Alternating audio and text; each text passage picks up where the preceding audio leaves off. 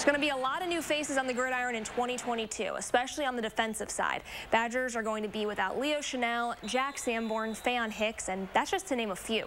But in their absence, other players are stepping up. Actually, that's something Jim Leonhard is seeing on both sides of the ball this offseason and during the first week of spring practice. Younger guys stepping up and embracing a new role.